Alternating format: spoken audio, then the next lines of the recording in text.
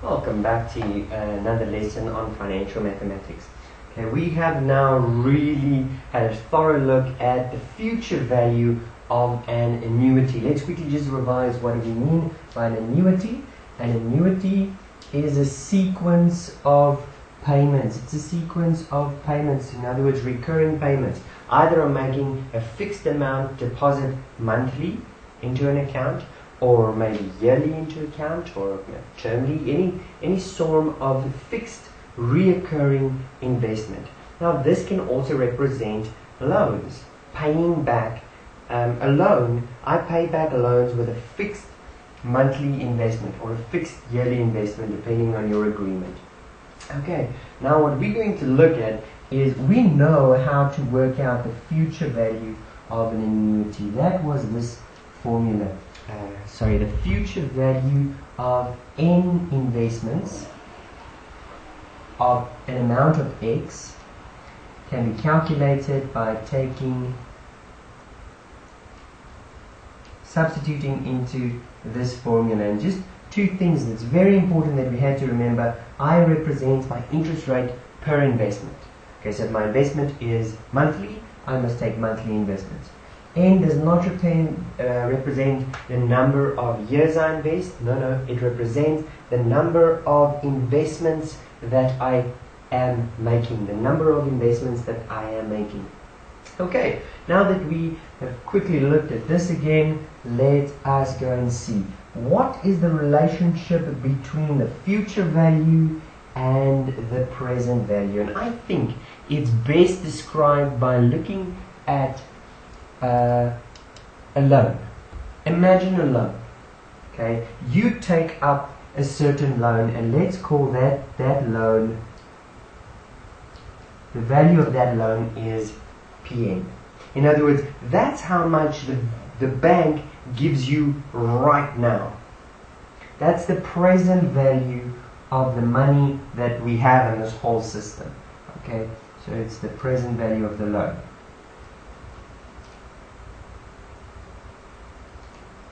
Now let's say you have to pay this back after n terms. In other words, let's say it's months, then you have to pay it back over 240 months. That's 20 years. Okay, so if I take this loan out now and I must pay back the full amount of this loan in 20 years' time, all at once. I'm not making recurring payments, I pay it all at once. Then it means that this is a present value, that is the future value after 20 years, and how will I work it out? Well, I'll, I'll use my uh, this formula. If I'm earning compound interest, I'm not making recurring payments. So you get that? Get that in your head completely. Okay, so in other words, the future value of this loan that I must pay back, I'm going to call it Fn now because um, I'm considering this future value, is my present value that's earned interest for n years. Oh, well, not in years, but uh, depending on in terms. Let's rather say terms.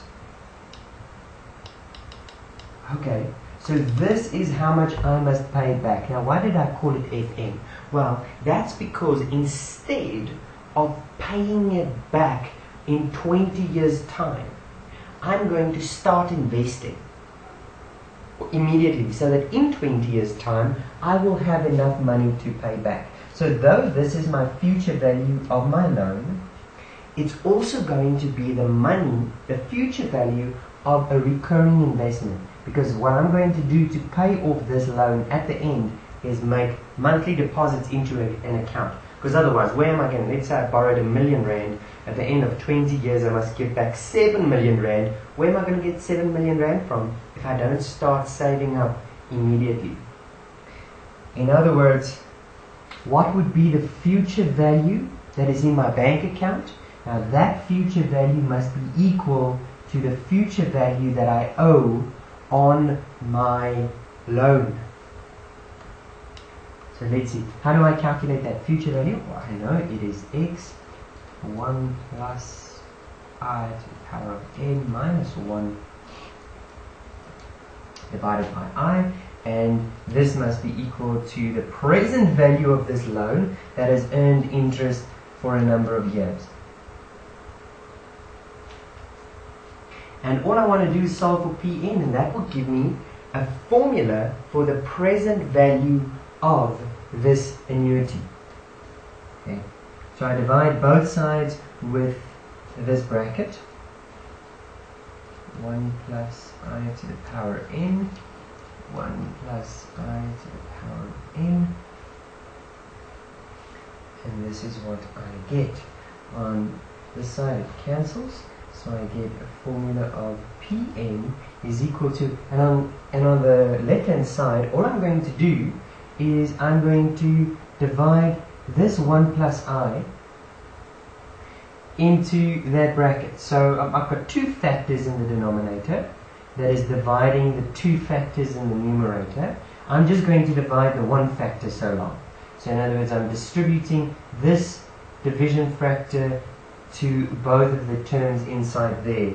Okay, and you'll see what happens. So by dividing it into one of the factors of the numerator, I must divide each of the terms in that factor, which means uh, for the first term, for that those two terms, 1 plus i to the power of n divided by 1 plus i to the power of n gives me 1 minus 1 divided by, and I'm just writing here, 1 divided by 1 plus i to the power of n can also be written as um, 1 times 1 plus i to the power of negative n. A negative exponent means divide the coefficient. And I don't need to write the 1. In other words, I'm just left with 1 plus i to the power of negative n. And in the denominator, I am left with my i. I didn't divide in that one as well. And look at that. There I've got a formula for my present value of an annuity. Now, okay, maybe the whole time you're like, what on earth is the present value? Sorry, I'm writing it wrong while speaking. What on earth is the present value of an annuity? How can, how can a recurring payment have a value before I started paying? Well, there's two ways in which you can think about it that might make sense. One way is if I promise to pay you, I make you a promise. And I tell you, you know what? We, we're good friends and you can trust me. I am going to pay you a hundred rand every month, starting in one month's time. In one month's time, I'm going to pay you a hundred rand every month for 12 months. Now, I don't think there's 12 lines there, but it doesn't matter. For 12 months, I'm going to pay you a hundred rand every month. How much will you be willing to give me right now for that promise? How much is that promise to you worth right now? Well, you might say, okay, it's worth 1,200 Rand. You're going to pay me 1,200 Rand over a year. And I would think, man, you are really a good friend. Because actually, actually, you aren't even charging me any interest on money that I'm actually borrowing from you. Because I'm actually borrowing a 100 Rand from you and only paying it back in a month's time and another hundred and paying it back in two months' time, and another hundred and paying it back in three months' time. So if it wasn't for interest, you would give me a thousand two hundred rand right now because you wouldn't charge me any interest. Okay? And if it wasn't for interest, then the present value of this would be equal to the future value of this. But in fact, there is interest. And most of the times, and I don't think any of you like me that much, that you you'll pay me a thousand two hundred rand and I just need to give you back a hundred rand over twelve months. No, you might say, okay, I, I, I won't give you, I won't give you thousand, uh, uh, thousand two hundred, but I'll only give you thousand rand back, and I'll say, okay, that sounds fair, or that that's a little bit too little. I expect you to give me more. It doesn't really matter, okay, but this would mean that even though I pay a, pay you back a total of 1,200 Rand, the present value of that total is less. Because I'm paying you back a 100 Rand in one month's time, but that 100 Rand includes a little bit of interest. One month of interest. The next 100 Rand includes two months of interest, and the next 100 includes three months of interest. Okay, and that is why this present value of a loan can almost be like cons- considered how much is a promise of this recurring payment worth to you right now. And the way banks use this and the way it's mostly applied in reality is with uh, loans. With loans, you want to buy a house that is now worth a million rand. So you go to the bank and you say, listen, bank, I want to buy a house of a million rand. How much must I promise to pay you every month for the next 20 years? In other words, how much must I pay every month for 20 years? All the way, 20 years is 240 months. How much must I pay monthly? And the banks will use this formula. They will say, okay, well, here's our formula for the present value. In other words, the present value is how much you want right now. And you want a million rand right now.